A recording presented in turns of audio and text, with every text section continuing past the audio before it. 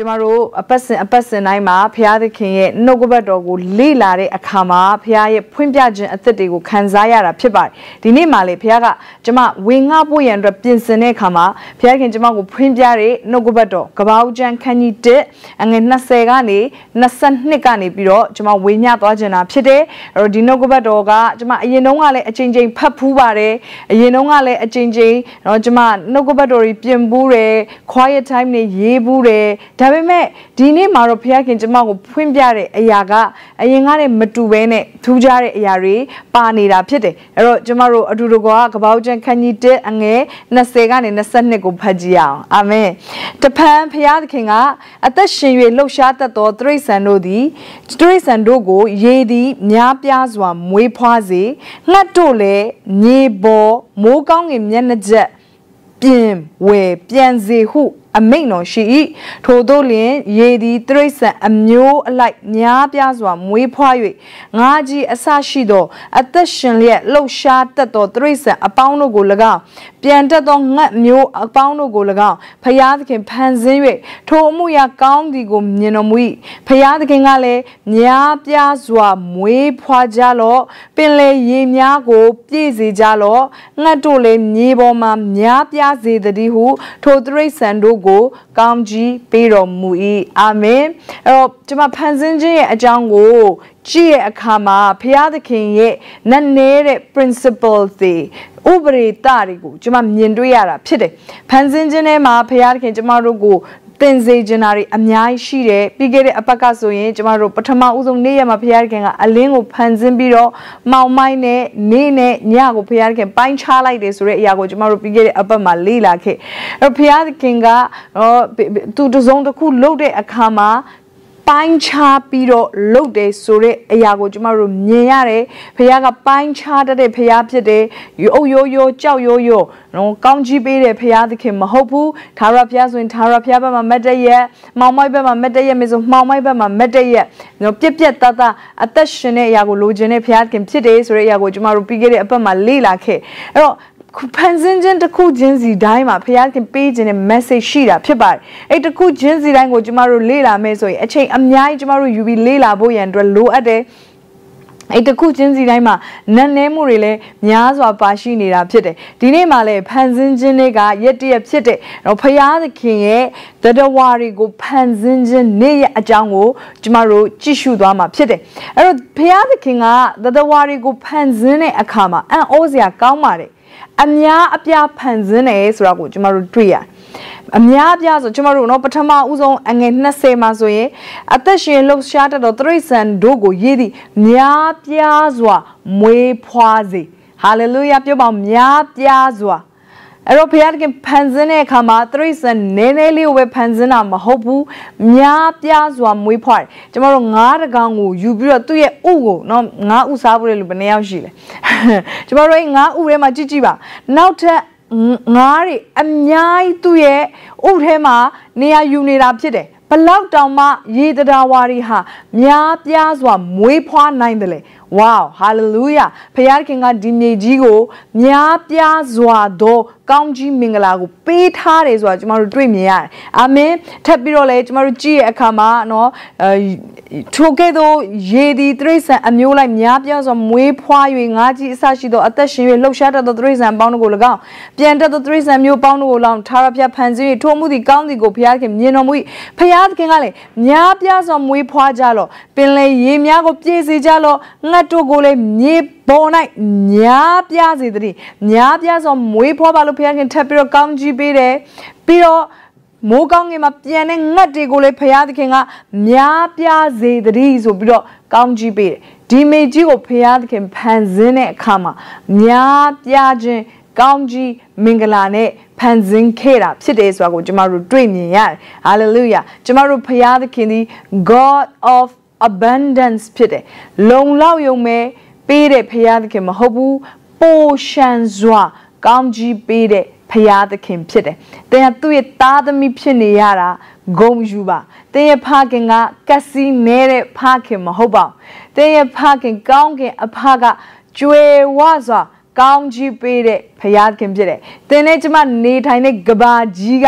ကျွေဝခြင်းနဲ့ပြည့်စုံတဲ့ကဘာကြီးဖြစ်တယ်။ Wow hallelujah သင်နဲ့ကျမအသက်ရှင်တဲ့ကဘာကြီးမှာဘုရားသခင်ကကျမတို့အနာမှာလုံလောက်ပိုရှန်ခြင်းကိုနေရာချထားတယ်ဆိုတာကိုကျမတို့မြင်တွေ့ရတယ်အာမင်အဲ့တော့တဘောကဖခင်သခင်ကရက်ရိုးတဲ့ဖခင်ဖြစ်တယ်ဖခင်ကလူသားကိုပိုရှန်တဲ့နေရာမှာနေရာချထားတယ်ဟာလေလုယာကျမတို့အတွက်အရင်မြစ်တွေကမကုံခန်းနိုင်ဘူးလို့ အတိတ်ပဲရတာဖြစ်တယ်အာမင်အဲ့တော့သင်တို့အရင်မြစ်တွေကလုံလောက်စွာရှိနေတယ်အဲ့တော့ကျွန်မဒီနေ့မှာကျွန်မဟောပြောခြင်းနဲ့နှုတ်ကပတ်တော်ရဲ့ခေါင်းစဉ်ကတော့လုံလောက်ကျွေဝခြင်းပြည့်စုံသောအသက်တာဖြစ်တယ်အာမင်သင်ရဲ့အသက်တာကိုဖခင်ကလုံလောက်ကျွေဝသောအသက်တာဖြစ်စေမယ်ဟာလေလုယာကျွန်မ အဲ့ဒီလုံလောက်ကြွယ်ဝခြင်းလေးကိုကျမတို့သွားမယ်ဆိုရင်အဓိကလိုအပ်တဲ့အရာတွေကဘာလဲဆိုတော့ကျမတို့မှာလုံလောက်ကြွယ်ဝတဲ့ mindset ရှိဖို့လိုအပ်တယ်အာမင်လူသည်စိတ်ထင်သည့်အတိုင်းဖြစ်၏လို့တုတ်တန်ပြောတယ်အဲကျမတို့ကမှန်ကျမတို့တွေးတာမှန်မှပဲကျမတို့ယုံကြည်တာမှန်မှပဲမှန်ကန်တဲ့ရလဒ်ကိုကျမတို့ရလိမ့်မယ်အာမင်၃ရောနှစ်မှလည်းဒီလိုပြောတယ် အချင်းချစ်သူသင်ရဲ့စိတ်နှလုံးကောင်းစားတဲ့ကဲ့သို့သင်ဒီအရာရာ၌ကောင်းစားခြင်းနဲ့ကျမ်းမာခြင်းရှိမိကြောင်းငါဆုတောင်း၏တဘောကကျမတို့အတ္တတာဒေးမှာကျမတို့ရဲ့စိတ်နှလုံးကကောင်းစားမှပဲအရာရာမှာကျမတို့ကောင်းစားမှဖြစ်တယ်အလုံးလုံးပိုရှင်တဲ့အတ္တတာကိုသင်သွားဖို့ရန်အတွက်ဘာလို့အပ်လဲကောင်းစားတဲ့စိတ်နှလုံးလိုအပ်တယ်လုံလောက်ကြွယ်ဝခြင်းထဲမှာသင်မတ်တဲ့ရက်နိုင်ဖို့ရန်အတွက် သင်ကိုယ်တိုင်ကလုံလောက်ကြွယ်ဝတဲ့နှလုံးသားအရင်ရှိရမယ်ပတ်စံကိုဘုရားကအရင်ပေးမှာမဟုတ်ဘူးနှလုံးသားကိုအရင်ပေးမှာအာမင်ကျမတို့အခြေအနေတွေကိုအရင်ပြောင်းလဲပေးမှာမဟုတ်ဘူးကျမတို့ရဲ့နှလုံးသားကိုဘုရားကအရင်ဦးဆုံးပြောင်းလဲပေးမှာဖြစ်တယ်အာမင်အလုံးလောက် portion နဲ့ mindset ကျမတို့ဘယ်လိုမျိုး ရဘာကျမတို့ရဲ့အသက်တာတွေမှာဘယ်လိုမျိုးရရှိနိုင်မလဲဆိုတဲ့ຢာကိုဒီနေ့မှာကျမအထူးဝင်ငါသွားကြတာဖြစ်တယ်အာမင်ဖခင်တခင်ကကျမတို့ကို abundance life ထဲမှာအသက်ရှင်စေခြင်းတယ်ယောဟန်အခန်းကြီး30အငယ်30မှာပြောတယ်သခိုးကခိုးခြင်းတက်ခြင်းဖြစ်စီခြင်းငါသာလာတယ်ငါမူကသိုးတို့ကိုအသက်နဲ့ ပြည့်စုံတဲ့အသက်တာကိုပေးဖို့ရန်အတွက်လာတယ်လို့ပြောတယ်။ hallelujah အထူးသဖြင့်အသက်နဲ့ပြည့်စုံသောအသက်တာအဲ့ဒီဟာကိုအင်္ဂလိပ်လို့ဆိုရင် abundant life လို့ခေါ်တယ်။ abundant life ဆိုတဲ့အဓိပ္ပာယ်ကပိုရှန်သောအသက်တာမလုံလောက်တာမဟုတ်ဘူးပြည့်ယုံလေးပဲမဟုတ်ဘူးပိုရှန်သောအသက်တာမှာအသက်ရှင်ဖို့ရန်အတွက်ယေရှုကလာတယ်လို့ပြောတယ် အာမင်အဲ့တော့လုံလောက်ပိုရှန်တဲ့အသက်တာကိုသွားဖို့ရန်အတွက်လူတွေကဘာကြောင့်မသွားနိုင်လဲဆိုသူတို့ရဲ့အထဲမှာမာယွင်းတဲ့ယုံကြည်မှုတွေရှိနေလို့မာယွင်းတဲ့ယုံကြည်မှုကကျမတို့ကို block လုပ်ထားတယ်စီးတားထားတယ်ဖယားသခင်ပြင်ဆင်ပေးထားတဲ့ အောင်မြင်ကြွယ်ဝခြင်းတွေကိုသွားဖို့ရန်အတွက်ကျမတို့ရဲ့အတွေးခေါ်ကျမတို့ရဲ့စိတ်နှလုံးထဲမှာလာပြီးတော့စီးတားထားတဲ့မာယွင်းသောယုံကြည်မှုတွေရှိနေလို့ဖြစ်တယ်။ဒါပေမဲ့မာယွင်းတဲ့ယုံကြည်မှုတစ်ခုကတော့နော်လုံလောက်ပိုရှင်ခြင်းကအပြစ်ဖြစ်တယ်လို့လူတွေကယုံကြည်ကြတယ်။တဘောကတော့ပိုရှင်တဲ့အသက်တာမှာအသက်ရှင်တာလိုရာထက်ပိုပြီးတော့ရှိတဲ့အသက်တာမှာအသက်ရှင်တာကမကောင်းဘူးအဲ့ဒါလောဘကြီးอ่ะအဲ့ဒါအပြစ်ရှိတယ် ဆိုတဲ့ mindset မျိုးရှိနေတာဖြစ်တဲ့အတွက်ကြောင့်အဲ့ဒီအဲ့ဒီ mindset နဲ့ကျမတို့ကကျွေးဝခြင်းသက်တာတွေကိုမသွားနိုင်ဘူးဖြစ်တယ်အဲ့ဒီ mindset ကဘုရားခင်ကျမတို့မှာရှိစေခြင်းတဲ့ mindset မျိုးမဟုတ်ဘူးလူတွေကပို့ပို့ပြီးတော့ရှိတဲ့အရာကိုလောဘကြီးရလို့မြင်တယ်ဒါပေမဲ့မိတ်ဆွေသိလားအနှဲငယ်ပဲလိုချင်တဲ့စိတ်ရှိတဲ့အရာလဲအရင်အနေရများတဲ့စိတ်နေသဘောထားဖြစ်တယ်။တင့်ကိုတုံးသွားစေနိုင်တယ်။တင့်ကို တင့်မှာရှိတဲ့ potential တင့်မှာရှိတဲ့အစွမ်းစအရေးချင်းတွေကိုသုံးသင်းသလောက်အသုံးမပြုဘဲနဲ့ရောက်ရဲပြီးတနေရာမှာရက်တန့်သွားစေနိုင်တာဖြစ်တယ်။ဒါကြောင့်မို့ကျမတို့အသက်တာမှာသတိထားဖို့ရန်အတွက်လိုတယ်။ဘာမှလိုချင်စိတ်မရှိတော့တာကောင်းတဲ့အရာတော့ခုတော့မဟုတ်ဘူး။အဲ့တော့ဂျူးတွေကဒီ mentality သူတို့မှာမရှိဒီစိတ်နှလုံးမျိုးသူတို့မှာမရှိဂျူးတွေကအောင်မြင်ကြွယ်ဝရမယ်လို့သူတို့ကယုံတယ်။ ဒါကြောင့်မို့လို့လဲသူတို့တွေကပဲကမ္ဘာရဲ့အချမ်းသာဆုံးစီးရင်ဝင်နေဖြစ်လာ။အဲ့ဂျူးလူမျိုးတွေကပဲကမ္ဘာရဲ့တီထွင်မှုအကောင်းဆုံးတီထွင်ကြံစမှုအကောင်းဆုံးပုံကိုယ်တွေဖြစ်လာဘာဖြစ်လို့လဲသူတို့က အနှဲငယ်ပဲရှိရမယ်လို့မယုံကြည်ဘူးသူတို့ကများစွာရှိရမယ်လို့သူတို့ကယုံကြည်တယ်ဘုရားကငါတို့ကိုများစွာပေးခြင်းနဲ့ဘုရားကငါတို့ကိုကြွယ်ဝစေခြင်းနဲ့ကြွယ်ဝခြင်းကအပြစ်မဟုတ်ဘူးကြွယ်ဝခြင်းအပြစ်လူတွေကိုငါတို့အများကြီးပြန်လဲကူညီလို့ရတယ်လို့သူတို့ကယုံကြည်ကြတယ်ဒါမှမဟုတ်ဂျူးတွေကကြွယ်ဝခြင်းကအကျင့်ကောင်းခြင်းတစ်ခုလို့တော့မသူတို့ကယုံကြည်တယ်။ဒါကြောင့်မို့လဲ ကြွယ်ဝတဲ့ခါမှပဲတင်ပြန်လဲပြီးတော့လူတွေကူညီနိုင်ပါလေမရှိတဲ့လူကဘလို့လို့မရှိတဲ့လူပြန်ပြီးကူညီလို့ရမလဲအဲ့တော့ဂျူးတွေရဲ့ mindset နဲ့တာမန်လူတွေရဲ့လူမျိုးတွေရဲ့ mindset ကကွာတဲ့အတွက်ကြောင့်မို့လို့သူတို့ရဲ့အောင်မြင်မှုကြွယ်ဝမှုလည်းပဲကွာတာဖြစ်တယ်။ဘုရားသခင်ကကျမတို့ကိုမှန်ကန်တဲ့စိတ်နှလုံးမျိုးရှိစေခြင်းတယ်ဟာလေလုယာမှန်ကန်တဲ့နှလုံးသားဘုရားခင်တင့်ကိုရှိစေခြင်းတယ်ကြွယ်ဝခြင်းက နော်ကျမတို့ရဲ့အသက်တာကိုပြဿနာပေးတာမဟုတ်ပါဘူးကျမတို့အဲ့ကြွယ်ဝခြင်းရလာတဲ့အခါမှာဘလို့ပြန်သုံးလဲဆိုတာကပဲအရေးကြီးတာဖြစ်တယ်အကျိုးကြွယ်ဝခြင်းကငါကြွယ်ဝလာလို့ရှင်ငါမာနကြီးသွားမှာပေါ့မဟုတ်ပါဘူးမိတ်ဆွေသင်ကြွယ်ဝလာတဲ့အခါမှာမာနကြီးစရာမလိုပါဘူးအဲ့လိုမျိုးသင်ယုံကြည်ထားတယ်ဆိုရင်တော့ အဲ့ဒီအတိုင်းပဲဖြစ်ရင်ဖြစ်လိမ့်မယ်ဒါပေမဲ့သင်ကကြွယ်ဝလာတဲ့အခါမှာငါလူတွေအများကြီးကိုပြန်လဲကူညီပေးလို့ရတယ်လို့သင်ယုံကြည်ရဆိုရင်တော့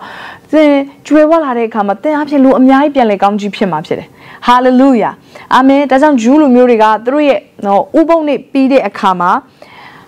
Havdala ဆိုတဲ့ပွဲကိုသူတို့ကအများရန်ကျင်းပါတယ်တပတ်မှာတစ်ချိန်သူတို့ Havdala အချိန်ဆိုတာဘာလဲဆိုရင်သူတို့ဥပုံနေ့ရဲ့နောက်ဆုံးညနေအချိန်မှာနော်သူတို့ကတပတ်တစ်ချိန်ဥပုပ်ဆောင်ရတယ် သူတို့ Shabbat လို့ခေါ်တယ်မောရှေရဲ့ပြည့်ညတ်ဒီကျမ်းစာမှာခရစ်ပြောတယ်ဥပုံနေ့ကိုတန်ရှင်းစေရမယ်ထိုနေ့ရက်ကိုအောက်မေ့ရမယ်ပြောထားတာဖြစ်တဲ့အတွက်ကြောင့်သူတို့ကတပတ်မှာတစ်ချိန်အဲဒီ Shabbat ဆိုတဲ့ဥပုပ်ကိုသူတို့စောင့်တယ်အဲ့ဒီဥပုံနေ့ရဲ့နောက်ဆုံးအချိန်မှာသူတို့ကဟာဗဒါလာဆိုတဲ့เนาะဒီပွဲကိုသူတို့လုပ်ကြတယ်အဲ့ဒီပွဲကကြတော့တပတ်တာလုံးမှာဖះကောင်းကြီးပေးတဲ့အရာတွေကိုသူတို့ရည်တွက်ချီးမွမ်းတယ်ပြီးရင် နောက်တစ်ပတ်ကိုသူတို့ပြန်စဖို့ရန်အတွက်ပြန်ပြီးတော့သူတို့အသက်တာကိုပြင်ဆင်ကြတဲ့အချိန်ဖြစ်တယ်သူတို့သူတို့ရဲ့အသက်တာမှာနော်ပြန်ပြီးတော့ကောင်းကြီးပေးတဲ့အချိန်ဖြစ်တယ်ဘုရားသခင်ကြွယ်ဝခြင်းကောင်းကြီးမင်္ဂလာကိုသူတို့အချင်းချင်းအပေါ်မှာမွတ်ဆိုတဲ့အချိန်ဖြစ်တယ် Havdalah ဆိုတဲ့အဓိပ္ပာယ်က separation လို့အဓိပ္ပာယ်ရတယ်။သဘောကတော့နော်တီးတန့်ဖယ်ထားခြင်းသူတို့ရဲ့ spiritual နဲ့နော်လောကနဲ့ကိုသူတို့ဟာငါတို့ဟာ divine လူတွေဖြစ်တယ်ဖရာသခင်စီကနေလာတဲ့သူတွေဖြစ်တယ်လောကနဲ့မတူဘူးဖရာသခင်ကောင်းကြီးမင်္ဂလာငါတို့ရဲ့အပေါ်မှာရှိတယ်ဖရာသခင်ငါတို့ဒါကြောင့်မို့အလုတ်ထဲမှာလည်းကောင်းကြီးပေးမယ်ဖရာမျက်နှာသာပေးရင်ငါတို့ဟာငါတို့ထိလေသမျှမှာကောင်းကြီးရမယ်ငါတို့လှုပ်ဆောင်လေသမျှမှာဖရာသခင်ငါတို့နဲ့အတူပါရှိမယ်စသဖြင့်တို့တူးနဲ့တူးအပေါ်မှာကောင်းကြီးပေးပြီးတော့ပြောဆိုခြင်းဖြစ်တယ်သူတို့မိသားစုဝင်နေနဲ့စုပြီးတော့သူတို့တငယ်ချင်းတွေကိုခေါ်ပြီးတော့ အဲ့မှာနော်လူကြီးတွေကလည်းသားသမီးတွေကိုကောင်းကြီးပေးတယ်သားသမီးတွေကလည်းအချင်းချင်းကိုပြန်လေကောင်းကြီးပေးတဲ့အချိန်ဖြစ်တယ်ဝါဟာလေလုယာအဲ့တော့အဲ့ဒီပွဲကိုသူတို့လှုပ်တဲ့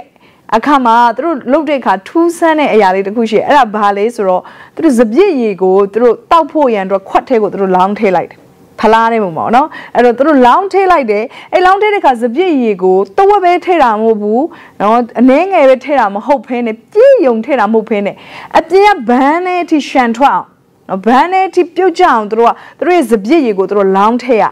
လောင်းထဲလိုက်ပြီးလို့ရှိရင်အဲ့ဒီစပြည့်ရီကိုဖနော်ဖယားတခင်ရှေးမမှာသူတို့ချီမြောက်ပြီးတော့တစ်ဖက်မှာလည်းဖျောင်းနိုင်ကိုထွန်းပြီးတော့သူတို့ဘာလုပ်လဲဆိုဖျား ဖျားရဲ့ရှိမှမှာသူတို့ကျေးဇူးတော်ချီးမွမ်းဖျားကငါတို့ရဲ့လာမဲ့အပတ်မှာ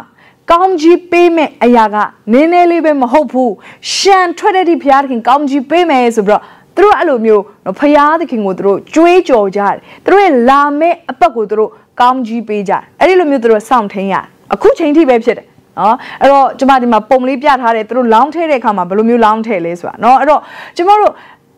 မိတ်ဆွေဒီအရာက prophetic ဖြစ်ပါတယ် အာမင်ကျမတို့အရာကိုအရင်သဘောကျကျမတို့ရဲ့အသက်တာမှာလည်းအဲ့လိုယုံကြည်မှုမျိုးရှိဖို့ရန်အတွက်လိုတယ်ဖခင်ကငါတို့ကိုနည်းနည်းလေးပဲကောင်းကြီးပေးမှာမဟုတ်ဘူး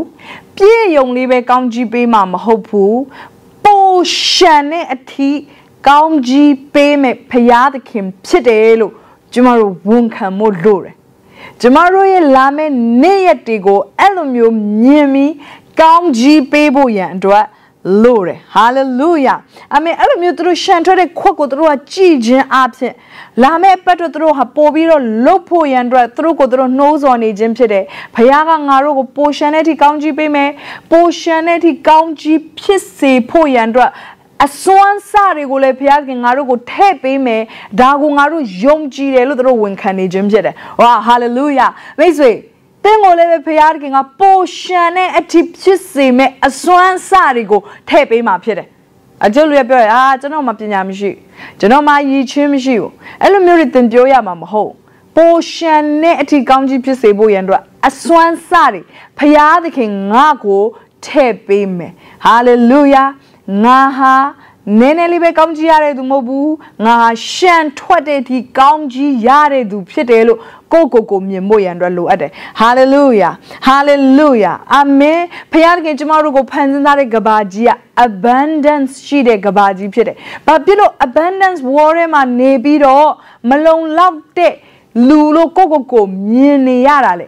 ဘာကြောင့်မလို့ဖရာသခင်ကပတ်ဝန်းကျင်မှာကြွယ်ဝခြင်းကောင်းကြီးမင်္ဂလာတွေကိုထားရတာကိုမြင်ပြီးတော့ဘာကြောင့်မကိုယ့်ကိုနည်းနည်းလေးပဲရှိရမယ်လို့ကန့်သက်ထားရတာလေ no more ဒီနေ့ကျွန်မ ready ရကိုရက်တန်းရအောင် hallelujah ဖရာခင်ဒီသင်ကိုထပ်ပြီးတော့ကောင်းကြီးပေးမယ်ဆိုတာကိုယုံကြည်ပါလူတွေကအခုခေတ်မှာနော်ဘယ်လိုယုံကြည်ကြသလဲဆိုတော့နည်းနည်းလေးပဲရှိပါအများကြီးမလိုချင်ပါနဲ့နော်အများကြီးလိုချင်တဲ့အရာက လောဘကြီးတာလို့ပြောတဲ့အခါမှာကျမတို့အကယ်လို့အဲ့ဒါကိုကျမတို့ယုံကြည်ပြီးတော့ခုနလိုမျိုးဟေ့နော်ဂျူးလိုမျိုးတွေလိုမျိုးကျမတို့ရဲ့နှလုံးသားကဖျားခင်ငါတို့ကောင်းကြည့်ပေးမယ်လို့မယုံကြည်ဘဲနဲ့နည်းနည်းလေးပဲကောင်းကြည့်ပေးမယ်လို့ယုံကြည်ခြင်းကကျမတို့ရဲ့အသေးတွေကအစွမ်းစားတွေကျမတို့ရဲ့မျော်လင့်ခြင်းတွေကျမတို့ရဲ့ယုံကြည်ခြင်းတွေအားလုံးကိုကြဆင်းသွားစေနိုင်တာဖြစ်တယ်အဲ့ဒါအရင်အနေများတဲ့မိတ်ဆွေ that is very dangerous အဲ့ဒါအရင်အနေများတဲ့မိတ်ဆွေဘုရားကယုံကြည်ခြင်းမပါဘဲချင်းကတဲ့တတော်မနစ်သက်ဘူးဖြစ်တယ်ကျမတို့ရဲ့နေ့စဉ်သက်ရှင်ခြင်းမှာယုံကြည်ခြင်းပါနေရဲ့လားကျမတို့ဘုရားကိုဘယ်လိုမျှော်လင့်နေကြတာလဲကျမတို့ဘုရားခင်ထံမှာဘယ်လိုပုံစံနဲ့ချင်းကပ်နေကြတာလဲအာမင်ဘုရားခင်ကကျမတို့ကိုထားထားတဲ့ရည်ရွယ်ချက်ကကျမတို့ဒီမြေကြီးမှာများပြားစွာသောအရာတွေကိုအုပ်ဆိုးဖို့ရန်အတွက်ဖြစ်တယ် တဘောရတင်ကုမ္ပဏီကိုအုပ်ဆိုးရဲဆိုရင်ကြီးမားတဲ့ကုမ္ပဏီတင်အုပ်ဆိုးဖို့ဘုရားခင်အလိုရှိတယ်ဟာလေလုယာအာမင်အကယ်လို့သင်ကနော်ကျောင်းတွေကိုအုပ်ချုပ်တယ်ဆိုလို့ရှိရင်များပြားစွာသောကျောင်းသားတွေရှိတဲ့ကျောင်းကိုအုပ်ချုပ်တဲ့သူဖြစ်ဘုရားခင်သင်ကိုခေါ်ထားတာဖြစ်တယ်ကျွန်တော်ကပောက်ကျန်ခန်းကြီးတဲ့အငယ်28မှာဘုရားခင်လူသားကို ခေါ်တဲ့ခေါ်ခြင်းဘုရားခင်လူသားကိုပေးတဲ့ကောင်းချီးမင်္ဂလာကိုဖတ်ကြည့်ရင်ကျွန်တော်တို့တွေ့မြင်ရတယ်အချင်းတို့များပြားစွာမွေးဖွားကြလော့မြေကြီးကိုပြည့်စေ၍နိုင်ကြလော့ပင်လယ်ငါးတို့ကို၎င်းမိုးကောင်းငင်ငှက်တို့ကို၎င်းအသက်ရှင်၍မြေပေါ်မှာလှုပ်ရှားတတ်သောတိရစ္ဆာန်အပေါင်းတို့ကို၎င်းအုပ်ဆိုးကြလော့ဟုမိန်တော်မူ၍သူတို့ကိုကောင်းကြီး ပေးတော်မူ၏အာမင်မြေကြီးကိုပြည့်စေ၍နိုင်ကြလော့ဖျားသခင်ရဲ့အလိုတော်ကများပြားစွာသောအရာများကိုအုပ်ဆိုးဖို့ရန်အတွက်ဖြစ်တယ် ဟာလေလုယာအာမင်သင်ကိုယ်တိုင်လည်းတိုးပွားခြင်းရှိမယ်သင်ထိသမျှသောအရာတွေကတိုးပွားမယ်သင်ကိုအုပ်ဆိုးဖို့ရန်အတွက်ဘုရားသခင်အလိုရှိရယ်ဟာလေလုယာသင်ကိုနည်းနည်းလေးပဲဘုရားသခင်ပေးခြင်းတာမဟုတ်ဘူးအများကြီးပေးခြင်းတယ်ဘုရားသခင်သင်ကိုများပြားခြင်းအလေမှာနေရာချထားတယ်ဟာလေလုယာအဲ့ဒီ mindset နဲ့တွားပါအာမင်ဒီခေတ်ကြီးကမလုံလောက်ခြင်းကိုပို့ပြီးတော့ဦးစားပေးဖော်ပြတဲ့ခေတ်ကြီးဖြစ်တယ် ကျမတို့သတင်းတွေကြည့်တဲ့အခါမှာစီတွေမလုံလောက်ဘူးတော့မလုံလောက်တော့ဘူးဆိုတဲ့သတင်းတွေလေတွေမလုံလောက်တော့ဘူးဆိုတဲ့နော်လေမတန့်ရှင်းတော့ဘူးဆိုတဲ့သတင်းတွေ ရေတွေမလုံလောက်တော့ဘူးရေတွေမတန့်ရှင်းတော့ဘူးဆိုတဲ့သတင်းတွေဒါတွေပဲကျမတို့ကြားတယ်။ကျောင်းတွေမှာစာသင်လဲဒီအကြောင်းတွေအများစုသင်။အဲ့ဒီဟာကနော်သူတို့စစ်တမ်းတွေအရာကြည့်မယ်ဆိုရင်တော့အချို့သောအပိုင်းတွေကတော့မှန်ပါတယ်။သတင်းကတော့မှန်ပါတယ်။ဒါပေမဲ့အဲ့ဒါကိုကြားတဲ့အခါလူကဘလို့နှလုံးသားမျိုးရလာလဲဆိုတော့ငါတို့မှာလုံလုံလောက်လောက်မရှိတော့ငါတို့မှာစီမရှိတော့ငါတို့မှာလေကောင်းကောင်းမရှိတော့ ငါတို့မှာရေကောင်းကောင်းမရှိတော့ဘူးဆိုတော့ mindset ကကျမတို့ထဲဝင်လာပြီးတော့မလုံလောက်ခြင်းဆိုတဲ့စိတ်သဘောကိုကျမတို့ထဲမှာဖြစ်စေအဲ့ဒီကဏ္ဍတွေမှာမလုံလောက်တာမဟုတ်တော့ဘဲနဲ့ကိုယ့်ရဲ့စီးပွားရေးမှာလည်းမလုံလောက်ခြင်းတွေကနေရာယူတယ်ဆိုပြီးတော့စဉ်းစားလာစေတယ်ကိုယ့်ရဲ့တက်တာထဲမှာမလုံလောက်ခြင်းတွေအကြောင်းကိုပဲညီးတွားစေတယ်ဟဲကုံစိမ်းတော့လည်းတက်လာပြီငါပတ်စံတွေမလုံလောက်တော့ငါသုံးဖို့ပတ်စံတွေမရှိတော့ ငါနေဖို့နေရာတွေမရှိတော့ကုံကုံစင်းလုံးတက်လာတော့အင်ခါတွေတက်သွားတယ်လေနော်အဲ့ဒီခါမှာဟာငါနေနိုင်မှာမဟုတ်တော့ငါစားနိုင်မှာမဟုတ်တော့ငါအရင်လိုသုံးနိုင်မှာမဟုတ်တော့ဘာဖြစ်လာလဲဆိုကျမတို့ရဲ့အထဲတွေကဘာကြီးကရန်သူကကျမတို့ကိုတွေးတဲ့အခါမှာကျမတို့စဉ်းစားတဲ့အခါမှာ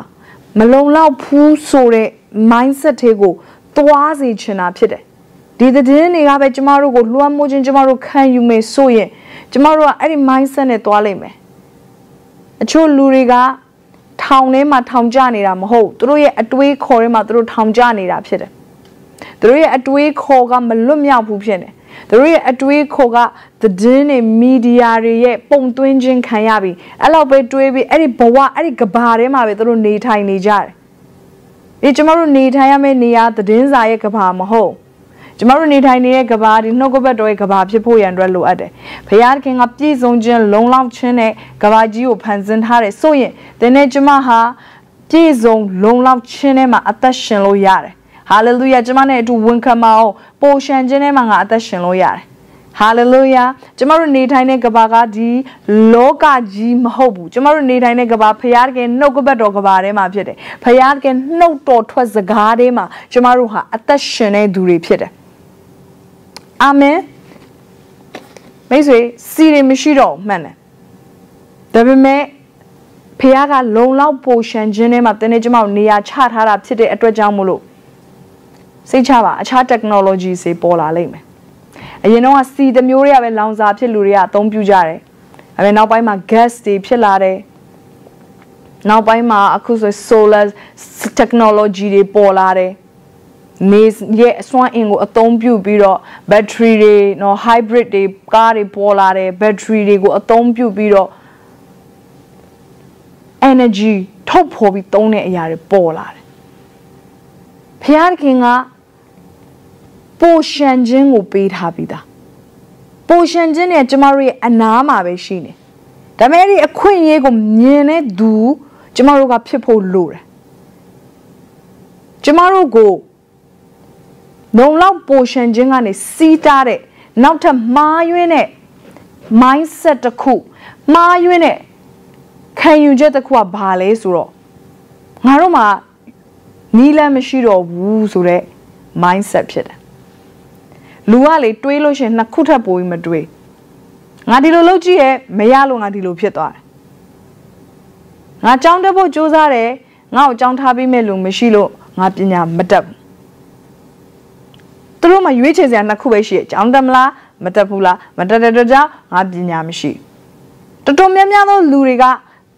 option နှစ်ခုပဲရှိတယ်သူတို့မှရွေးစရာနှစ်ခုပဲရှိရလို့ခံယူထားတယ်ဒီနှစ်ခုထပ်ပို့ပြီးတော့အခြားနီးလမ်းမရှိတော့ဘူးလို့စဉ်းစားတယ်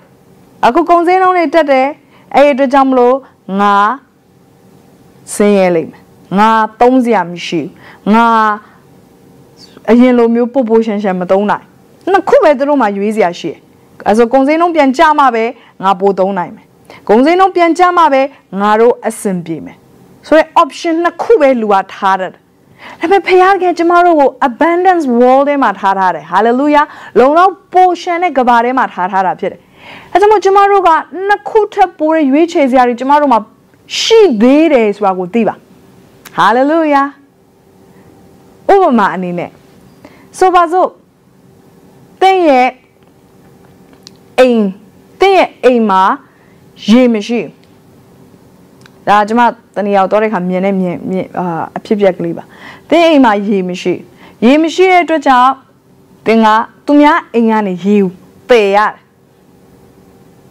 အဲ့ဒီခါမှာအဲ့ဒီလူကတင့်ကိုနေ့တိုင်းသူ့စီမှာလာပြီးရေခတ်တဲ့အတွက်ကြောင့်မကြိုက်ဘူးဆိုပါစို့ဒါဥပမာဖြစ်တယ်အဲ့ဒီအတွက်ကြောင့်မလို့တင့်မှာရွေးစရာ နှစ်ခုရှိရဲ့တစ်ခုကတော့သူ့အိမ်မှာရေဆက်ပြီးတော့ခတ်သူမကြရင်လည်းမျက်နှာပြောင်တိုက်ပြီးသွားခတ်ဒါမှမဟုတ်ရင်ရေမခတ်ဖဲနေအချို့လူတွေကအဲ့ဒီ option နှစ်မျိုးကိုပဲရွေးကြရေမခတ်ဖဲငါနေရမလားဒါမှမဟုတ်ငါမျက်နှာပြောင်တက်ပြီးသူ့အိမ်မှာသွားပြီးတော့ခတ်မလားဒါပေမဲ့စေအဲ့ထက်ပိုပြီးတော့များတဲ့ရွေးချယ်စရာတွေရှိနေတယ်အဲ့ဒါဘာလဲကိုပိုင်အိမ်မှာရေတွင်းတူးလို့ရတယ်ဟုတ်ဘူးလား အကယ်လို့ကိုပိုင်အိမ်မှာရေတွင်းတူးရုံသာမကသေးဘူးအာရေတွင်းကငါအိမ်တွင်းနဲ့တူးလို့ရှိရင်အများကြီးကုန်ကြမှာပေါ့ဒါဆိုလို့ရှိရင်သင်ဘာလုပ်လို့ရလဲရေတွင်းတူးတဲ့ကုမ္ပဏီဆက်သွယ်ပြီးတော့ရွာမှာရေတွင်းတူးခြင်းတဲ့အိမ်တွေကိုသင်စည်ရင်ကောက်လို့ရတယ်ကောက်ပြီးရင်တော့ပြီးတော့ပြောမယ်ကျွန်တော်တို့ရေတွင်းတူးဖို့ရန်အတွက်အိမ်ခြေပေါင်းဘယ်လောက်ရှိရဲအဲဒီအတွက်ကြောင့်မလို့လာတူးပေးပါတူးပေးလို့ရှိရင်ကျွန်တော်တို့ကုန်ဈေးနှုန်းကိုတက်တာစွာနဲ့လုပ်ပေးပါစသဖြင့် apply လုပ်လို့ရ သွားပြီးတော့ရှောက်လို့ရဒါမှမဟုတ်ရင်လေတင်ကိုယ်တိုင်ကအဲ့ဒီရေတွင်းတူးတဲ့ပညာကိုသွားသင်ပြီးတော့ကိုယ့်အတွက်ကိုတူးလို့ရတယ်ကိုယ့်အတွက်ကိုတူးရအောင်မကောက်အဲ့ဒီကုမ္ပဏီထောင်ပြီးတော့ရေတွင်းတူးတဲ့ကုမ္ပဏီထောင်ပြီးတော့ကြံတဲ့အိမ်တွေအတွက်ပါရေတွင်းပြန်တူးပေးလို့ရတယ်ဒါမှမဟုတ်လေကိုယ့်အိမ်မှာရေတွင်းတူးပြီးတော့သူများရေပြန်ရောင်းလို့ရတယ်ဒါဆိုရင်ရွေးချယ်စရာကတစ်ခုပဲရှိရမဟုတ် ရွေးချယ်စရာတွေအများကြီးရှိနေသေးတယ်ပြောပါအောင် abundance opportunity ပိုရှန်တော့လုံလောက်ယုံနာမကောက်များပြားသောအခွင့်အရေးတွေဖခင်ကျမတို့အတွက်ပေးထားသေးတယ်ဟာလေလုယာဒါပေမဲ့လူရဲ့စိတ်နှလုံးကအချုပ်ကျနေတဲ့အတွက် ငါတို့မှရွေးစရာဘာမှမရှိငါတို့မှရွေးစရာနှစ်ခုပဲရှိရဲ့သေမှမျက်နှာပြောင်တိုက်ပြီးတော့ရေသွားခိုင်ခတ်မောရတော့ငါရေငတ်ပြီးတော့သေလိမ့်မယ်မဟုတ်ပါဘူးမိတ်ဆွေဘုရားခင်တဲ့ abundance war ထဲမှာထားထားတာဖြစ်တယ် hallelujah အဲဒါကြောင့်ကျွန်တော်တို့ကရွေးချယ်စရာကနှစ်ခုထပ်ပိုရှိရဲဆိုတာသိဖို့လိုတယ်တောင်းကုတ်ထက်လည်းပိုရှိနိုင်ကျွန်တော်ပြောရင်ခြားနေလည်းမရှိတော့ဘူးဘုရားခင်စီမှာဆူတောင်းပါ တန်ရှင်တော်ဝိညာဉ်တော်ဖျက်တဲ့ကိုပေါ်ပြလာလိမ့်မယ်အခြားသောနီးလန်းတွေအများကြီးရှိနေသေးတာဖြစ်တယ်ဟာလေလုယာအာမင်အဲ့တော့ကျမတို့အတွက်အရင်းမြစ်တွေကအကန့်အသတ်မရှိဘူးဖြစ်တယ်ကျမတို့အတွက်ဖခင်သခင်ကပြင်ဆင်ပေးထားတဲ့အရင်းမြစ်တွေကအများကြီးပဲပြောပါအောင်ကျမနဲ့သူငါတို့ဖခင်ပြင်ဆင်ပေးထားတဲ့အရင်းမြစ်တွေအများကြီးရှိတယ် ဟာလေလုယာအဲကြောင့်မလို့ကျမတို့ဒီကိုယ့်ကိုဆုံးရှုံးမယ်လို့မြင်စရာအကြောင်းမရှိဘူးကိုယ့်ကို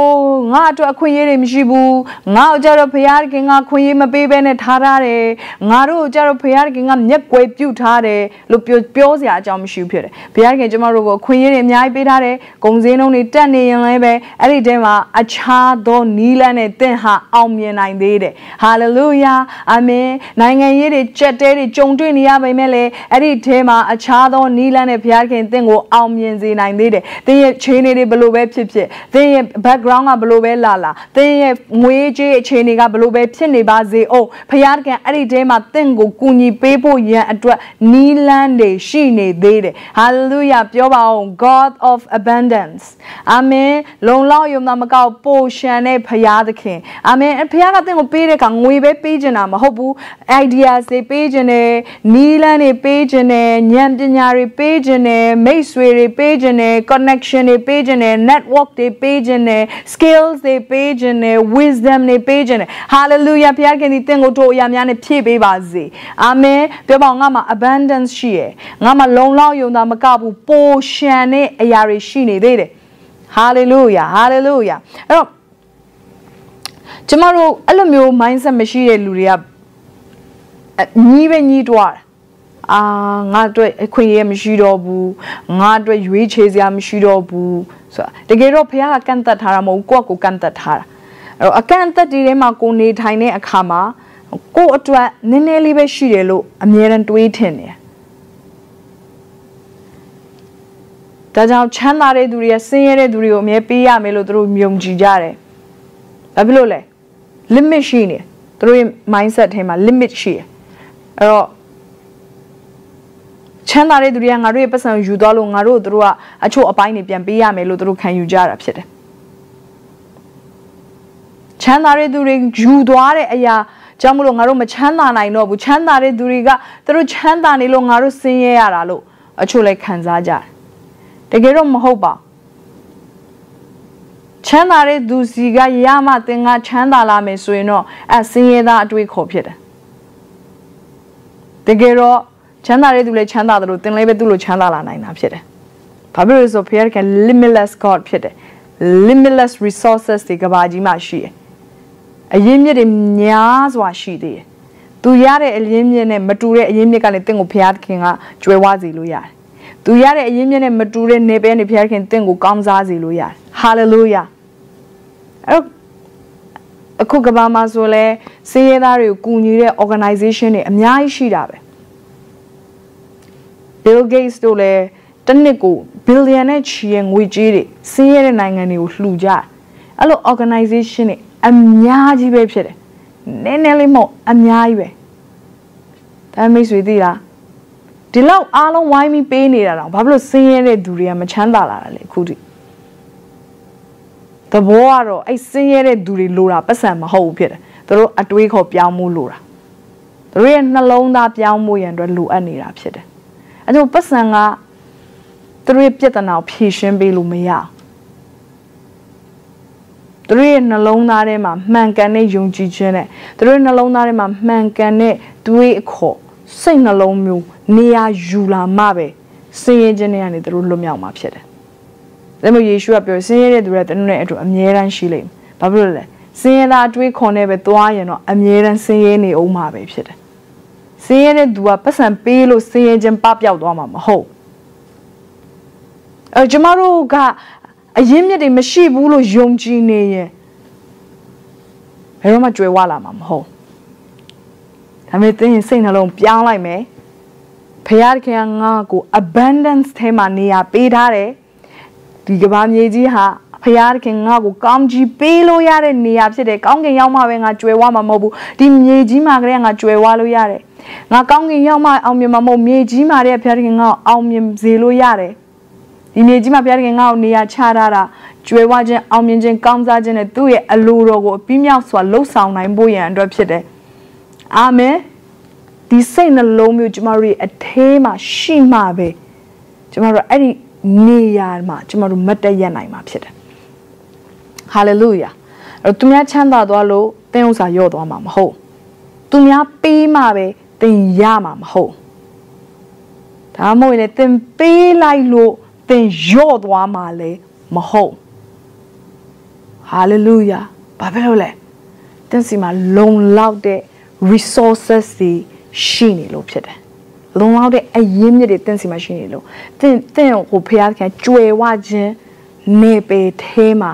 နေရာချထားပြီးတာဖြစ်လို့ဒါမှမဟုတ်သင်ပေးရင်လည်းပြန်ရောက်လာအောင်မယ်ပေးရင်လည်းပြန်ရောက်လာအောင်မယ်ဟာလေလုယာသင်ပေးလိုက်တဲ့အတိုင်းဖျားခင်တိတ်လျက်ရှန်လျက်ပြန်လေပြီးတော့ကောင်းကြီးပေးအောင်မယ်အာမင်အချို့လူတွေသဘောပေါက်နေပြီလို့ကျွန်မယုံကြည်တယ်အချို့လူတွေတော့သဘောမပေါက်သေးဘူးပြန်ပြီးတော့နားထောင်မှအစားနေတခါဟာလေလုယာအာမင်အချို့လူတွေသဘောပေါက်နေပြီကျွန်မအခုပြောနေတာဒါဟာဘာလဲဆို abundance dimension ဖြစ်တယ်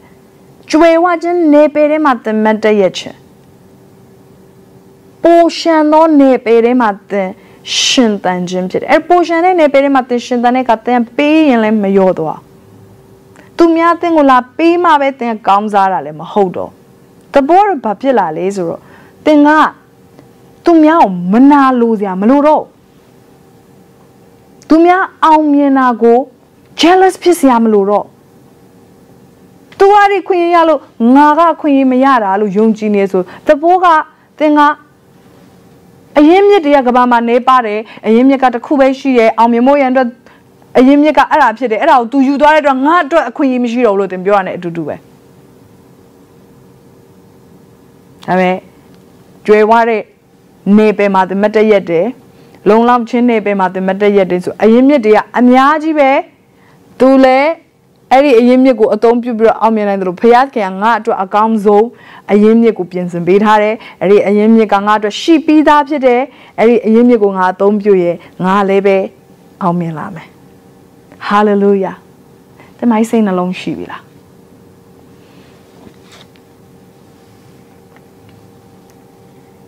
ဒါကြောင့်မလို့ကျမတို့ကမှန်ကန်တဲ့စိတ်နှလုံးရှိဖို့ရန်အတွက်တိတ်အရေးကြီးတယ် ကြွယ်ဝတဲ့စိတ်နှလုံးရှိဖို့ရန်အတွက်တိတ်အရေးကြီးတယ်ကျမတို့စိတ်နှလုံးမကြွယ်ဝမချင်းကျမတို့အပြင်မှာလဲကြွယ်ဝခြင်းကိုမြင်ရမှာမဟုတ်မရှိဘူးဆိုတဲ့စိတ်နှလုံးကကျမတို့ကို creative ဖြစ်ဖြစ်မစင်စားတတ်စေမရှိဘူးမဖြစ်နိုင်ဘူးဆိုတဲ့စိတ်နှလုံးကဒီထက်ပိုပြီးတော့အခြားနီးလန်းတွေကိုမစင်စားတော့စီဘူး ခုနလိုပေါ့သူများအိမ်မှာရေတော့ခမလားတမို့ငါရေငတ်ခံပြီးတော့တည်မလားဒီနှစ်ခုပဲရှိတယ်အဲ့အတွေးခေါ်ပါလေကျမတို့ရဲ့အထက်ကစ조사အားထုတ်စေတဲ့ကျမတို့ရဲ့အထက်ကနေပို့ပြီးတော့ဖះအားကိုးတက်စေစိတ်နှလုံးတွေကိုဖျက်ဆီးပစ်တာဖြစ်တယ်ကျမတို့ရဲ့အထဲထဲမှာဖះထည့်ပေးထားတဲ့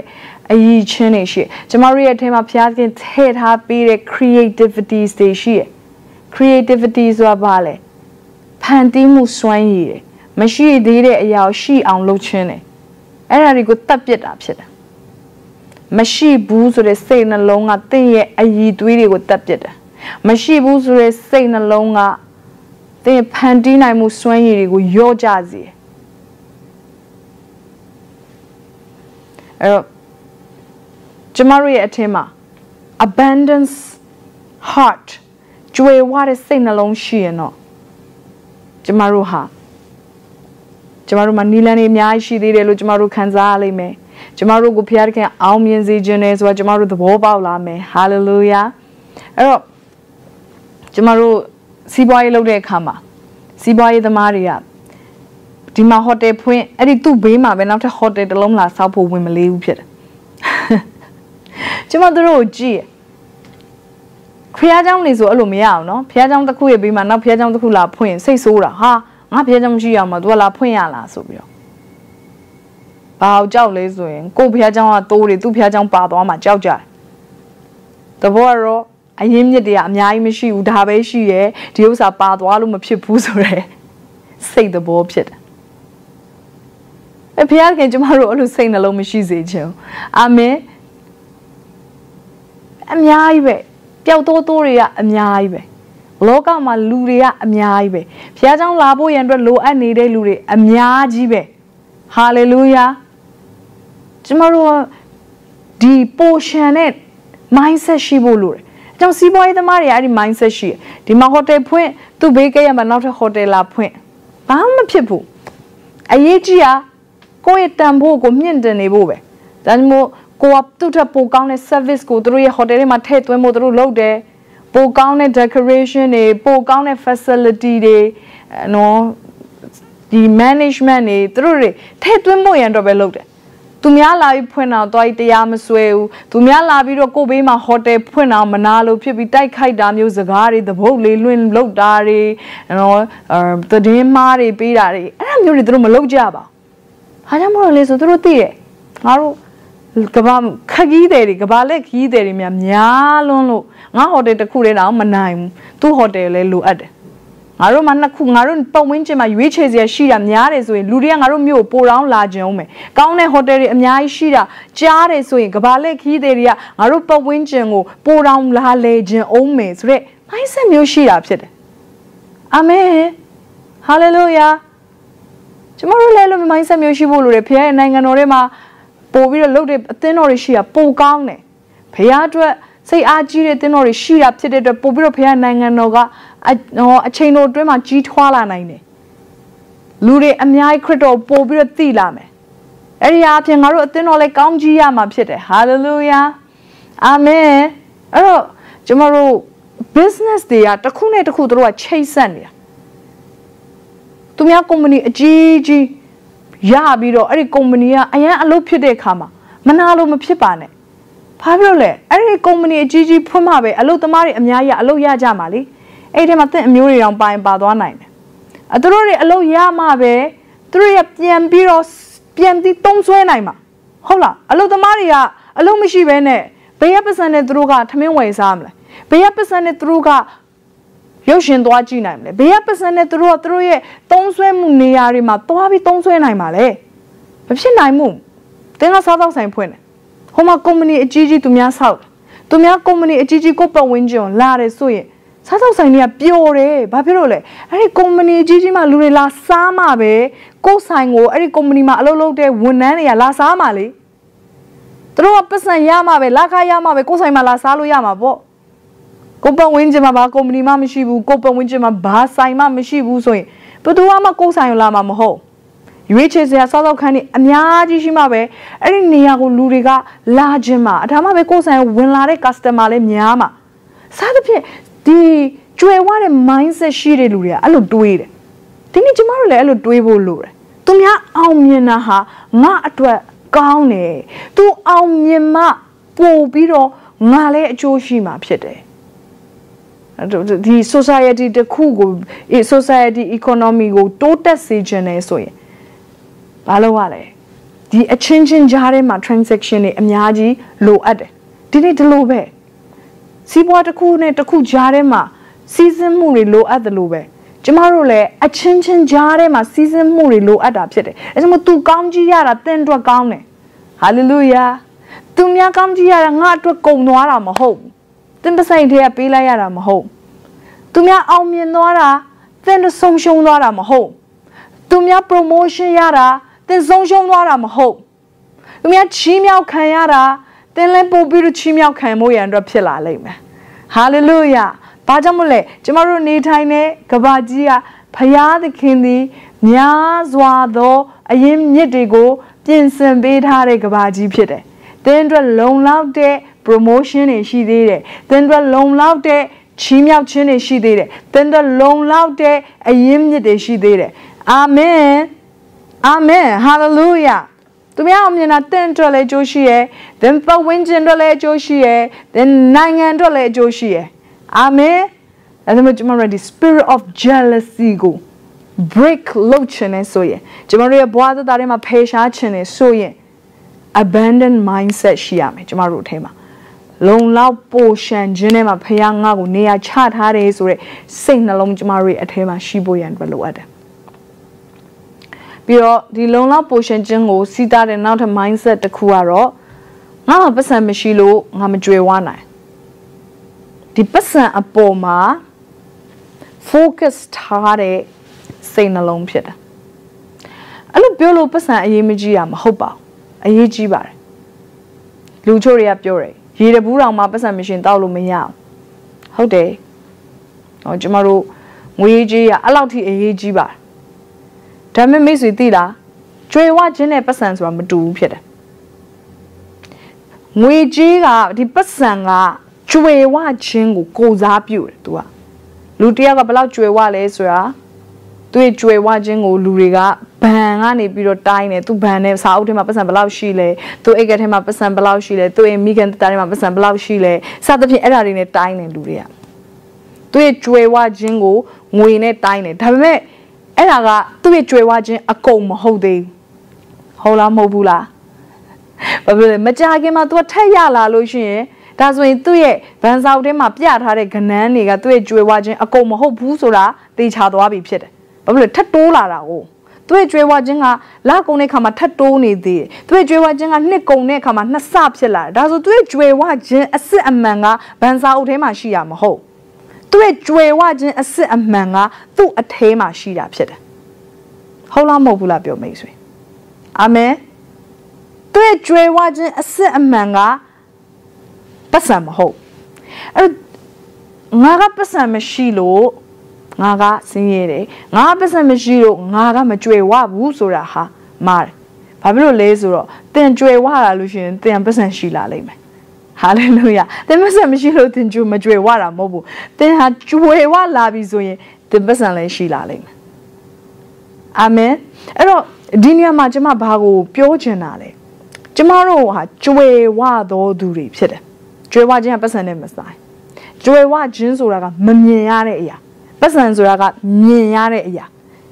ကျမတို့ဘန်စာအုပ်ထဲမှာမြင်လို့ရတယ်စက်ကူအနေနဲ့ကျမတို့မြင်လို့ရတယ် digital အနေနဲ့ကျမတို့ရဲ့ဖုန်းတွေထဲမှာမြင်လို့ရတယ်ဒါပေမဲ့ကြွယ်ဝခြင်းကကြတော့မမြင်ရတဲ့အရာဥပမာဖခင်ခင်ကတင့်ကိုအယီချင်းတွေထည့်ထားပြီးအယီချင်းကျမတို့မြင်လို့ရလား၊ကင်လို့ရလားမရဒါပေမဲ့အရေးချင်းကကျမတို့ကင်လို့မရပေမဲ့ အရေးချင်းကကျမတို့ကိုကြွယ်ဝခြင်းကို ဖြစ်စေအဲဒါမို့ဆရာဝန်တွေကသူတို့ရဲ့အရေးချင်းတဲ့လူတွေကိုကုသပေးတယ်ဆရာဝန်တွေကသူတို့ရဲ့အရေးချင်းတဲ့လူတွေကိုကုသပေးတဲ့အခါမှာသူတို့ငွေကြေးတွေရလာတယ်ဟောအဲ့တော့လူတွေကပြောတယ်ပတ်စံကကျမ်းမာခြင်းကိုဝယ်လို့မရဘူးဟဟုတ်တယ်ပတ်စံကျမ်းမာခြင်းဝယ်လို့မရဘာကဝယ်လို့ရလဲအဲ့ဒီအယီချင်းကကျမ်းမာခြင်းကိုဖြစ်စေအဲ့တော့ကျွေဝခြင်းကဘာလဲ မမြင်ရတဲ့ဥစ္စာသင်ရဲ့အယီချင်းအာဒါမှမဟုတ်ရင်သင်ရဲ့ skills သင်ရဲ့ပေါင်းသင်းဆက်ဆံရေးတွေလူမှုဆက်ဆံရေးကောင်းမွန်ခြင်းတွေသင်ဆုတောင်းခြင်းတွေသင်ဖရာသခင်နဲ့ယဉ်ဤကျွမ်းဝင်မှုတွေဒါတွေကသင်ရဲ့ကြွယ်ဝခြင်းတွေဖြစ်တယ်ကြွယ်ဝခြင်းသင်မမြင်ရသင်ရဲ့ဉာဏ်ပညာဒါတွေကမမြင်ရအောင်ဒါပေမဲ့ဒါတွေကသင်ရဲ့ကြွယ်ဝခြင်းဖြစ်တယ်ဖရာသခင်ကသင်ကိုပေးထားတဲ့ကြွယ်ဝခြင်းမိတ်ဆွေသိလား သင်ကပတ်စံတော့အများကြီးမရှိပေမဲ့သင်မှာကြွယ်ဝခြင်းအများကြီးရှိတယ်ဟာလေလုယာသင်အထဲမှာရှိတယ်သင်အနားမှာရှိတယ်အဲဒါကြောင့်ကျမတို့ဟာကြွယ်ဝတဲ့ကဘာမှာအသက်ရှင်နေလို့ပြောတဲ့အခါသင်အိတ်ကတ်ထဲမှာပတ်စံဘယ်လောက်ရှိလဲဆိုတော့ပဲကျမပြောတာမဟုတ်မမြင်ရတဲ့နေပေမှာသင်ဟာကြွယ်ဝတဲ့သူဖြစ်တယ်ဘုရားကလူတွေဉာဏ်ပညာပေးတယ် သင်ယူနိုင်တဲ့စွမ်းရည်တွေပေးတယ်တက်စွမ်းနိုင်တဲ့စွမ်းရည်တွေပေးတယ်ဟာလေလုယာအဲ့ပြင်ကျမတို့မိတ်ဆွေတွေပေးတယ်အဲ့ပြင်ကျမတို့ကိုဘုရားသခင် spiritual war ထဲမှာဝိညာဉ်ရေးနေပေသေးမှာဆူတောင်းခြင်းနဲ့မတ်တက်ရက်နိုင်တဲ့ကြွယ်ဝခြင်းကိုပေးတယ်အာမင်အဲ့တော့ကျမ်းမာခြင်းကိုပတ်စံနဲ့ဝယ်လို့မရအောင်ဒါပေမဲ့လူတယောက်နေမကောင်းတဲ့အခါမှာဆရာဝန်ကသူ့ဉာဏ်ပညာနဲ့အဲ့ဒီလူကိုသူကုသပေးလို့ရတယ် အဲ့ခါမှာသူ့ရဲ့ကြွယ်သူ့ရဲ့ဉာဏ်ပညာကနေသူကကြွယ်ဝခြင်းနော်အာသူ့သူ့ရဲ့ဉာဏ်ပညာနဲ့သူကပတ်စံရလာဟုတ်လားမဟုတ်ဘူးလားသူ့ရဲ့ကြွယ်ဝခြင်းကနေသူငွေကြေးတွေသူ့ရဲ့တက်တာတွေမှာစီးစင်းလာတယ်အာမင်အဲ့တော့ကျမတို့ကဒီအရာကိုနားလေတယ်ဆိုရင်နော်ကျမတို့ရဲ့အသက်တာထဲမှာကြွယ်ဝခြင်းတွေဖျားပေးထားတာဖြစ်တဲ့အတွက်အဲ့ကြွယ်ဝခြင်းတွေဘာလို့ရမလဲဆိုအသုံးပြုရအဲ့တော့ကျမတို့က ဒီမြေကြီးမှာနေတဲ့အခါမှာဖျားရဲ့နိုင်ငံတော်ကိုဘယ်လိုမျိုးပြန်ပြီးတော့ကောင်းကြီးဖြစ်စေနိုင်မလဲဖခင်ရဲ့နိုင်ငံတော်အတွက်ဘယ်လိုမျိုးပြန်ပြီးတော့ဖြစ်စေနိုင်မလဲသင်ကိုဖခင်သခင်ပေးထားတဲ့မမြင်ရတဲ့ကြွယ်ဝခြင်းတွေကိုဖခင်သခင်နိုင်ငံတော်ထဲကိုပြန်လေပါဝင်ခြင်းအပြင်လွှဲပြောင်းခြင်းအပြင်ဟောကျမတို့ရဲ့ currency ကို exchange လုပ်လို့ရတာဖြစ်တယ်အမေဥမာဆိုပါစို့ကျမမြန်မာနိုင်ငံမှာနေရဆိုကျမမြန်မာကြက်ငွေပဲရှိတယ် ဒါပေမဲ့ကျမကပြန်ဒေါ်လာလိုချင်နေဆိုဘာလို့ရလဲကျမမြန်မာကျပ်ငွေကိုလဲပြီးတော့ဒေါ်လာကိုဝယ်ရတာဖြစ်တယ်သွားပြီးတော့ currency exchange sign ကိုကျမသွားပြီးတော့လဲရတယ်ဒီနေ့ဒီလိုပဲအချို့ လူတွေလည်းပဲကိုယ့်ကြွယ်ဝခြင်းတမဘာတွေဖျားခင်ထည့်ထားပေးတယ်အပြိုးစွမ်းရည်လားဂျမ်နော်လူနာတွေကိုကုသပေးနိုင်တဲ့စွမ်းရည်လားအင်ဂျင်နီယာစောက်အုံတွေကိုစောင့်နိုင်တဲ့စွမ်းရည်လားဉာဏ်ပညာစွမ်းရည်လားလက်နဲ့ဆိုင်တဲ့အလုပ်တွေကိုလုပ်နိုင်တဲ့စွမ်းရည်လားအမှုပညာစွမ်းရည်လားတင်မရှိတဲ့စွမ်းရည်တွေကိုပြန်လဲ currency exchange မှာသွားလဲပြီးတော့ဖခင်ရဲ့နိုင်ငံတော်အတွက်ပြန်လဲပါဝင်ရမှာဖြစ်တယ်။ဘာဖြစ်လို့လဲ။တနေ့ကြလို့ရှိရင်နောက်ဆုံးတီမာက ဘုရားသခင်နိုင်ငံတော်ဖြစ်တယ်အာမင်အဲ့နိုင်ငံတော်ထဲမှာ think currency ကိုလဲထားဖို့ရန်အတွက်လိုအပ်တယ်အာမင်အဲ့ဒီအကြောင်းနဲ့ပတ်သက်ပြီးတော့ကျွန်မနော်ဖခင်ကနိုင်ငံတော်ရဲ့ငွေကြေးစနစ်အကြောင်းကိုကျွန်မပြောထားတာရှိရဲအဲ့ဒီတရားဟောချက်ကိုပြန်လည်ပြီးတော့နားထောင်ကြည့်ပါတဲ့နားမထောင်ရသေးဘူးဆိုရင်ဟုတ်ပြီအဲ့တော့ကျွန်မပြောချင်တဲ့ຢာကသင်ဟာကြွယ်ဝတော်သူဖြစ်တယ်သင်အိတ်ကက်ကိုပဲမကြည့်ပါနဲ့သင်ဗန်စင်းကိုပဲမကြည့်ပါနဲ့သင်ကသင်ထင်တာထက်ကြွယ်ဝတော်သူဖြစ်တယ် သင်မှာအရင်မြစ်တွေအများကြီးဖရာသခင်ထည့်ထားပေးပြီးသားဖြစ်တယ်အဲ့တော့သင်ကအဲ့ဒီကြွယ်ဝခြင်းကိုအသုံးပြုပြီးတာ၍ကြွယ်ဝခြင်းကိုဖန်တီးရမှာဖြစ်တယ်ဟာလေလုယာအာမင်ဖရာသခင်နိုင်ငံတော်ထဲမှာကြွယ်ဝခြင်းကိုဖန်တီးရမယ်ဖခင်နိုင်ငံတော်အတွက်ဒါကြောင့်မဖခင်ပြောတယ်နိုင်ငံတော်နဲ့ဖြောင့်မတ်ခြင်းကိုရှေးဥစွာရှာပါနောက်မှထိုအရာများကိုထပ်၍ ပေးမယ်အာမင်ဖခင်ရဲ့နိုင်ငံတော်ထဲမှာပြန်လေပြီးတော့ကျမတို့ကမြုပ်နှံတက်ဖို့ရန်အတွက်လိုအပ်တယ်ဟာလေလုယာသင်ကသင်ထင်တာထက်ပို့ပြီးတော့ကြွယ်ဝတာကြွယ်ဝတဲ့သူဖြစ်တယ်သင်ကသင်ထင်တာထက်ပို့ပြီးတော့အစွမ်းစားရှိတဲ့သူဖြစ်တယ်အာမင်အဲ့တော့လီကွမ်ယူကိုကျမတို့ကြည့်တဲ့အခါလီကွမ်ယူကဒီစင်ကာပူနိုင်ငံရဲ့ president တယောက်ဖြစ်ခဲ့တယ်လီကွမ်ယူကသူစင်ကာပူနိုင်ငံကိုစပြီးတော့တည်ထောင်တဲ့အချိန်မှာစင်ကာပူနိုင်ငံကနိုင်ငံတိတိလေးပဲ third world country တစ်ခုဖြစ်တယ်ဘာမှမဖွံ့ဖြိုးသေးတဲ့เนาะဖွံ့ဖြိုးတိုးတက်မှုမရှိသေးတဲ့နိုင်ငံတစ်ခုဖြစ်တယ်အဲ့နိုင်ငံမှာဘာမှမထွက်စင်ကာပူမြန်မာနိုင်ငံလိုတော့မဟုတ်ဘူးဘာမှမထွက်ဘူးစိုက်ပျိုးရေးလဲလုံးလို့မရဘူး ကုန်ပစ္စည်းတွေဒီအာနိုင်ငံရဲ့တွင်းထွက်ပစ္စည်းတွေဆိုလဲဘာမှမရှိဒါပေမဲ့လီကွင်ယူကသိတယ်တကယ်ကြွယ်ဝခြင်းကမြင်ရတဲ့နေရာမှာမဟုတ် တကယ်ကြွယ်ဝခြင်းကမမြင်ရတဲ့အရာတွေဖြစ်တယ်ဝါဟာလေလုယာအဲ့တော့ဘာလို့လဲဆိုလို့ရှိရင်စင်ကာပူနိုင်ငံထွက်တာတခုရှိလူပဲထွက်တယ် လူမွေးတယ်လေနော်ခလေးမွေးတဲ့ခါလူထွက်လာအဲ့တော့ तू ကဘာကိုအသုံးပြုလဲဆိုလူစွမ်းအရင်းမြစ်ကို तू ကအသုံးပြုပြီးတော့စင်ကာပူနိုင်ငံကိုနော်တကယ်ပဲတိုးတက်ဖွံ့ဖြိုးအောင် तू လုပ်ခဲ့တယ်နော်အဲ့တော့ तू လူတွေရဲ့အထဲမှာရှိရဲ့အည်သွေးတွေလူတွေရဲ့အထဲမှာရှိရဲ့အည်ချင်းတွေဉာဏ်ပညာတွေ skills တွေဒီအရာတွေအပေါ်မှာ तू ဟာဘာပစ္စည်းမှမထွက်ပေမဲ့နိုင်ငံဟာတိုးတက်ဖွံ့ဖြိုးအောင်လှုပ်ဆောင်နိုင်ခဲ့တာဖြစ်တယ် အာမင်ဟာဒီနေ့ကျမတို့ကကိုယ့်အိတ်ကထဲမှာပတ်စံမရှိဘာမှဖြစ်နိုင်တော့ကိုမြင်ရတဲ့နေရာမှာပစ္စည်းတွေမရှိဘူးဆိုရင်ဘာမှမဖြစ်နိုင်တော့ကျမတို့ကနှစ်ခုထပ်ပို့ပြီးရွေးစရာမရှိဘူးလို့ထင်တယ်ငါနိုင်ငံမှာဘာမှမရှိလို့ငါတို့အားလုံးကဆင်းရဲရတော့မယ်တရားရောကငါတို့လာလှူရင်လှူမလှူရင်ငါတို့အားလုံးဆင်းရဲရတော့မယ်ဆိုတော့အဲ့ဒီ mindset နဲ့ကျမတို့သွားတဲ့အတွက်ကြောင့်မို့လို့ကျမတို့ရဲ့အခြေအနေတွေမပြောင်းလဲသေးတာဖြစ်တယ်စသဖြင့်တော့မြင်ရအောင် ငါတို့ကိုဖះပေးထားတဲ့အရင်းမြစ်တွေအများကြီးရှိရဲ့ငါတို့ဟာ abundance war ထဲမှာအသက်ရှင်နေသူဖြစ်တယ်အမင်းငါတို့ရဲ့ပတ်ဝန်းကျင်မှာဖះခင်ပြင်ဆင်ပေးထားတဲ့အရင်းမြစ်တွေအများကြီးရှိရဲ့ကြွယ်ဝခြင်းဆိုတာအိတ်ကက်သေးကလာတာမဟုတ်ဘူးကြွယ်ဝခြင်းဆိုတာငါရဲ့နှလုံးသားတွေကလာတာဖြစ်တယ်ငါကိုဖះ ပေးထားတဲ့အည်သွေးတွေတန်ရှင်သောဝိညာဉ်တော်ထံကနေလာတဲ့ ideas တွေတန်ရှင်သောဝိညာဉ်တော်ထံကနေလာတဲ့လမ်းပြမှုတွေ hallelujah ဖွင့်ပြချက်တွေကငါ့ကိုကြွယ်ဝစေမယ်အောင်မြင်စေမယ်လို့ယုံကြည်ဖို့ရန်လိုအပ်တာဖြစ်တယ်အာမင်အဲ့တော့ကျမတို့ ချိုးကပြောတယ်ငါတို့စင်းရင်လည်းရပါတယ်ဘာမှမဖြစ်ပါဘူးအော်ငါတို့ဘာမှမရှိရင်လည်းရပါတယ်ဘာမှဖြစ်ပါဘူးငါတို့ abundance war တွေမှာတော့ပြီးအသက်ရှင်စရာမလိုပါဘူးအခုလက်ရှိစင်းရတဲ့နေရာမှာပဲသွားရင်လည်းရပါတယ်လို့အချိုးကတင်တယ်မိတ်ဆွေဖခင်တခင်ကျမတို့ကိုအဲ့လိုသွားဖို့ရန်အတွက်အလိုမရှိဘူးဖြစ်တယ်ဖခင်တခင်တင့်ကို abundance war တွေမှာအသက်ရှင်စေခြင်းတယ်ဒီမျိုးချင်းချစ်သူတင့်စိတ်နှလုံးကောင်းစားတဲ့သူတင့်ဟာအရာရာ၌ကောင်းစားခြင်းနဲ့ကျမ်းမာခြင်းရှိမိကြောင်းငါဆုတောင်းတယ်လို့ပြောတဲ့အခါပေါလုကဖခင်ရဲ့အလိုတော်ကိုသိပြီးတော့ဆုတောင်းပေးတာယောဟန်က sorry ယောဟန်ကဖခင်ရဲ့အလိုတော်ကိုသိပြီးတော့ဆုတောင်းပေးတာအာမင်ဘာကြောင့်မလို့လဲဆိုတော့ယောဟန်ကသိတယ်ဒီလူတွေဟာလူတွေဟာကောင်းစားဖို့ရန်အတွက်ဘုရားသခင်အလိုရှိရဲ့အရာရာ၌ကောင်းစားခြင်းနဲ့ကျမ်းမာခြင်းရှိဖို့ရန်အတွက်ဘုရားသခင်အလိုရှိရဲ့ဟာလေလုယာအာမင်အဲ့ဒီအတွက်ကြောင့်မလို့စိတ်နှလုံးကောင်းစားမှရမယ်ဘာကြောင့်မလို့ကျမတို့ဟာကောင်းစားဖို့ရန်အတွက်လိုအပ်လဲ ကောင်းစားမှုရှိမှပဲကျမတို့ပြောတဲ့အခါမှာလူတွေကကျမတို့ရဲ့စကားကိုတန်ဖိုးထားမှာဖြစ်တယ်ကျမတို့အားလုံးလည်းသိရဲ့ဆင်းရဲတဲ့သူပြောတဲ့စကားဘယ်တော့မှမအောင်ကျွေဝတဲ့သူပြောတဲ့စကားပဲအောင်တယ်ဒါကြောင့်မလို့ကျမတို့ကျွေဝဖို့လိုတယ်ငွေကြီးကျွေဝရုံတော့မကောက်သင်ဟာအရင်မြစ်တွေမှာလည်းကျွယ်ဝတဲ့သူဖြစ်ဖို့ရန်အတွက်လိုအပ်တယ်ဟာလေလုယာအာမင်သင်စိတ်နှလုံးကကောင်းစားတဲ့စိတ်နှလုံးဖြစ်ဖို့ရန်အတွက်လိုအပ်တယ်အာမင်ပြီးတော့ကျမတို့ ဖယားသခင်ပုံသက်တွေအနေနဲ့မြေကြီးမှာအသက်ရှင်တဲ့အခါမှာပုံသက်တွေကောင်းဖြစ်ဖို့လိုတယ်ပုံသက်တွေကောင်းဖြစ်ဖို့ဆိုတာကကျမတို့ကိုယ်တိုင်ကကြွယ်ဝဖို့ရန်အတွက်လိုတယ်ကျမတို့ကိုယ်တိုင်ကလှုပ်ဆောင်ခြင်းစိတ်ရှိတဲ့သူတွေဖြစ်ဖို့လိုတယ်ကိုယ်ကြည့်လိုက်တဲ့အခါမှာ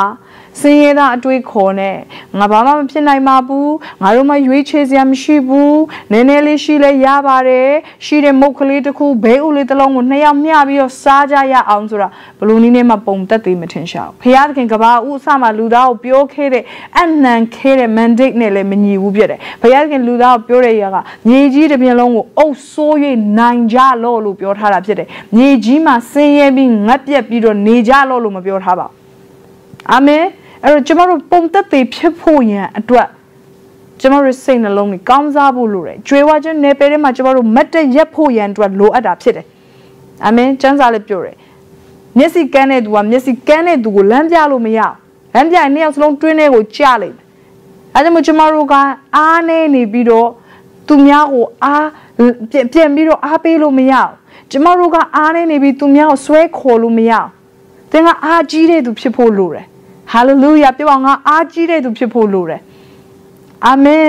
ငါကကြွယ်ဝတဲ့သူဖြစ်ဖို့ရန်အတွက်လိုတယ်ငါကောင်းစားတဲ့စိတ်နှလုံးရှိတဲ့သူဖြစ်ဖို့ရန်အတွက်လိုတယ်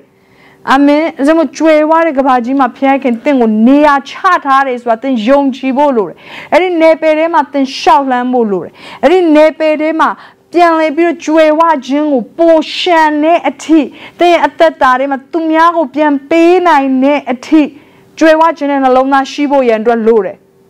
ဂျူးတွေဟာဒီအရာကိုသူတို့ယုံတယ်သူတို့ကြွယ်ဝလာတဲ့ခါပိုရှန်တဲ့ခါသူများကိုငါတို့ပြန်လေကောင်းကြီးဖြစ်စေမယ်ဖခင်ကအဲ့လိုမျိုးလှုပ်ဖို့တော့ငါတို့ကိုမြေကြီးမှာထားထားတယ်သင်အားဖြင့်လူမျိုးတကာတို့သည်ကောင်းကြီးမင်္ဂလာခံစားရမယ်အာဗြဟံရဲ့ကောင်းကြီးမင်္ဂလာအဲ့ဒီကောင်းကြီးမင်္ဂလာငါအားဖြင့်သူများပြန်လေကောင်းကြီးခံစားရမယ် အခုခေတ်ကြီးကျွန်တော်တို့အရင် selfish ဖြစ်သွားတယ်ဘာမှမရှိလဲရပါတယ်နည်းနည်းလေးရှိရင်လည်းငါတို့ကျေနပ်တယ် minimalism ဆိုတဲ့ဟလာနည်းနည်းလေးပဲရှိပြီသူတင်မှာနည်းနည်းလေးပဲရှိမှသူများအတင်မလို့ပေးနိုင်ပါလေ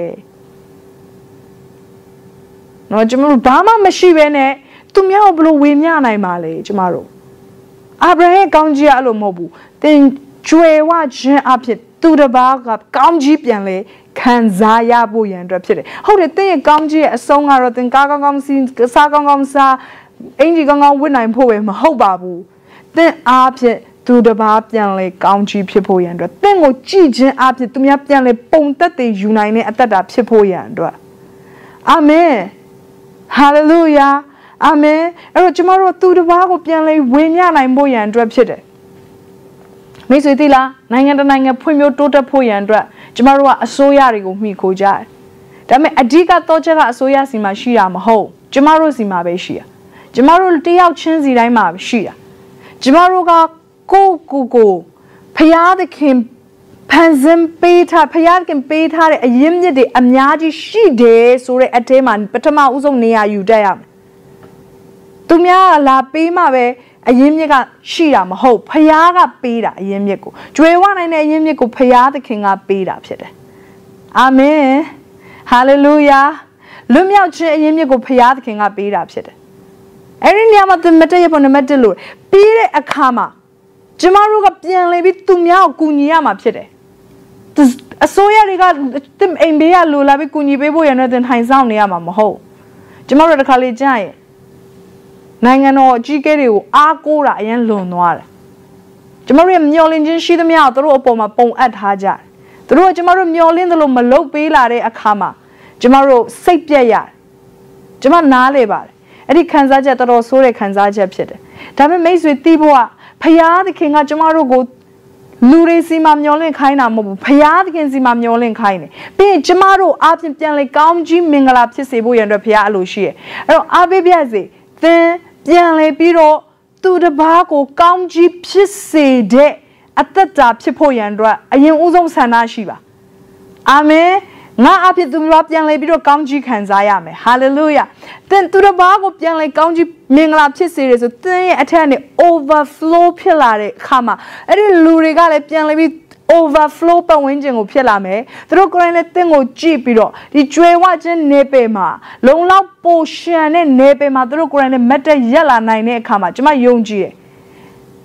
အပြောင်းလဲတွေကတင်းနဲ့တင်းရဲ့ပတ်ဝန်းကျင်မှာဖြစ်လာလိမ့်မယ်တင်းရဲ့နိုင်ငံထဲမှာဖြစ်လာလိမ့်မယ်ကျမတို့တွေဟာဒီမြေကြီးမှာအသက်ရှင်တဲ့အခါမှာဖခင်သခင်ထားထားတာဟာကိုတယောက်စာအတွက်ပဲထပ်မကပါဘူး ပဝင်းချင်းကိုအပြောင်းလဲလုပ်ဖို့ရန်အတွက်ဖြစ်တယ်။ဒါကြောင့်မလို့ယေရှုကအမြဲတမ်းပြောတယ်ကိုကိုကိုထပ်ပို့ပြီးတော့ကြည့်ရမယ်။မိမိကိုကိုချစ်တယ်လို့သူ့ကိုချစ်ရမယ်။ကျမတို့ရဲ့ဆန္ဒတွေကကိုကောင်းကြီးရယုံလောက်ပဲမဖြစ်ရ။သူတစ်ပါးပြန်လဲကောင်းကြီးရဖို့ရန်အတွက်ဖြစ်ရမယ်။အဲ့ဒီအတွက်သင်ဟာ overflow ဖြစ်ဖို့ရန်အတွက်လိုတယ်ရှံနေတဲ့အသက်တာမှာအသက်ရှင်ဖို့လိုတယ်ဒီရှံနေတဲ့ mindset နဲ့တွာလာဖို့လိုတယ်ရှံထွက်နေတဲ့အရင်းမြစ်တွေကိုအသုံးပြုပြီးတော့ပြန်လဲပြီးသူ့တစ်ပါးစီကိုပြန်လဲကောင်းကြီးစီးစင်းစေဖို့ရန်အတွက်လိုလိုအပ်တယ်အာမင်အဲဒါမို့ဒီနေ့မှာတင့်ကိုကျွန်မယုံကြည်ခြင်းတွေပြောင်းစေခြင်းနဲ့အမြင်တွေပြောင်းစေခြင်းနဲ့နှလုံးသားတွေပြောင်းစေခြင်းနဲ့တင်းရဲ့တက်တာပေါ်မှာကြွယ်ဝခြင်းကိုကြည်ညာပါသင်ရဲ့လုပ်ငန်းပေါ်မှာကြွယ်ဝခြင်းကိုကြည်ညာပါ သင်ရဲ့တက်တာမှာအခွင့်အရေးတွေကြွယ်ဝစွာဖျားပေးထားတယ်ဆိုတာကိုကြည်ညာပါသင်ရဲ့လုပ်ငန်းထဲမှာအခွင့်အရေးတွေကြွယ်ဝစွာဖျားခင်ပေးထားတယ်ဆိုတာကြည်ညာပါဖျားခင်ဟာကြွယ်ဝသောဖျားဖြစ်တယ်ဆိုတာကိုယုံကြည်ပါအာမင်ကျွန်မနဲ့အတူကြည်ညာရအောင်အာမင်ကျွန်တော်စီမှာကြွယ်ဝသောကျမ်းမာခြင်းရှိတယ်ကျွန်တော်စီမှာကြွယ်ဝသောဝမ်းမြောက်ခြင်းရှိတယ် ကျွန်တော်စီမှာကြွယ်ဝသောအခွင့်အရေးတွေရှိတယ်ကျွန်တော်စီမှာကြွယ်ဝသောငြိမ်သက်ခြင်းရှိတယ်ကျွန်တော်စီမှာကြွယ်ဝသောဝမ်းမြောက်ခြင်းရှိတယ်ကျွန်တော်စီမှာကြွယ်ဝသောမိတ်ဆွေတွေရှိတယ်ကျွန်တော်စီမှာကြွယ်ဝသောဉာဏ်ပညာရှိတယ် ကျွန်တော်စီမှာကြွယ်ဝသောချစ်ချင်းမေတ္တာရှိတယ်ကျွန်တော်စီမှာကြွယ်ဝသောယုံကြည်ခြင်းရှိတယ်ဟာလေလုယာအာမင်ဘုရားခင်ကသင်တို့တောင်းပန်ကြံစီသမျှထက်အလွန်ထူးခြားစွာ ပြုတ်ပေးမဲ့ဘုရားသခင်ဖြစ်တယ်ဟာလေလုယာအဲ့ဒီတော့ကြောင့်မလို့ဘုရားခင်ဒီတင့်အတွက်လှုပ်ပေးမဲ့ကြွယ်ဝသောအမှုများကိုမျော်လင့်ပြီးတော့သက်ရှင်ရအောင်အဲ့ဒီ အဲ့ဒီ dimension ထဲမှာစတင်ပြီးတော့ရှောက်လန်းရအောင်လို့အရောက်ချင်းစီတိုင်းကိုဖိတ်ခေါ်ချင်တာဖြစ်တယ်ကျမတို့အတူတကွဆုတောင်းရအောင် hallelujah